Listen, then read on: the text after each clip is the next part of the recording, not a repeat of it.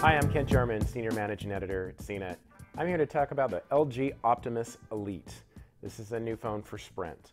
Now, you're probably saying to yourself that you've seen a million Optimus phones, and well, you have. Actually, that's not quite true. It's more about a dozen or so. But there have been quite a few of these phones of all sizes, all shapes, all capacities, and feature sets. Uh, the first was the LG Optimus 1, which came out for Sprint as the LG Optimus S quite a while ago. But now we have the Optimus Elite. Now, the Elite in the name is a little interesting because there's really not a whole lot of Elite about it. It Doesn't have the, it's not like the 3D Max that we saw recently where it has the three fancy 3D graphics. It's not like the other Optimus phones we saw at Mobile World Congress. This is a pretty average Android phone. It runs Gingerbread, it runs on 3G, it has an 800 megahertz processor.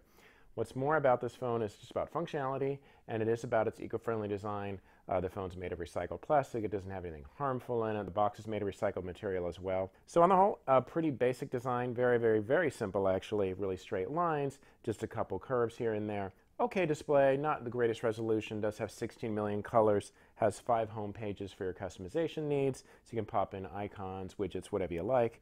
And uh, down on the bottom, you see touch controls. Normal Android touch controls. There's home, there's back, there's menu, and there's search.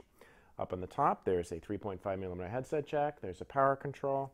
Over here, there's a volume rocker. And on the bottom, there's the micro USB port. So you can use that for a charger or a syncing cable. On the back, you have the uh, flash, the lens for the 5 megapixel camera, and a self portrait mirror. You don't see the mirror a lot these days, so it's nice to see. It just helps with those vanity shots. Take the back off, and you will find the micro SD slot. You don't have to take the battery out too, which is nice, but you do have to take the battery cover off. The battery cover is plastic, which isn't the best, uh, but I like the textured material. Overall, the phone weighs a little over four ounces, so it does have a, pretty solid feel in the hand. As this is a touchscreen phone, you'll have a virtual dial pad and a virtual keyboard. Virtual keyboard shows all the gingerbread enhancements. It does offer Swype as well, so if you're into that, you can use it. Features inside, pretty standard, 5 megapixel camera. It's actually pretty nice. It has quite a few uh, editing options, and it does have a decent photo quality. Uh, it does have Google Wallet, which is uh, something I didn't expect, especially on a phone of this caliber. So that means you'll be able to use it if you can find any place that accepts Google Wallet, of course, but you'll be able to use it for payment. So it has NFC, so you can use it for other tags as well. So, you know, for movie posters or business cards or anything like that. The phone does have visual voicemail, so if you get a voicemail in, it does transcribe it into text. Works pretty well. It's not real stickler for punctuation, so if you're grammar nut, I wouldn't get too uh, outraged about it. But it is nice for drivers that you can just check your phone, see who called and what they say, because of course, if you don't have a headset, you shouldn't be answering your phone in the car.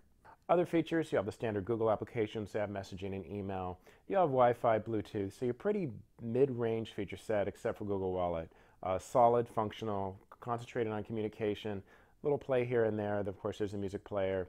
Um, does have some Sprint apps. Fortunately, you can remove a lot of them. You can't remove the Sprint ID app, which is annoying because I never a fan of that. Uh, felt, feels a little like bloatware. It makes lets you customize your phone, so uh, you'll have to ignore it if you can. Pricing is $29 with a two-year contract and a mail-in rebate. Uh, the phone also comes with Virgin Mobile, where you're going to pay a bit more, but of course, that uh, is not without a contract. I think that price is 149 As Optimus phones go, pretty low into the pack as Android phones go. A little more mid-range, but uh, is a simple Android device, performed well, but just don't expect a lot from it. I'm Kent German, and this is the LG Optimus Elite for Sprint.